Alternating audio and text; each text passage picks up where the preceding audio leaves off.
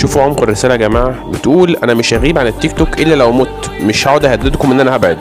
دي أم جزائرية أعتقد وبتدور على أولادها من سنين اختفوا في الحرب. يا رب تلاقيهم يا رب.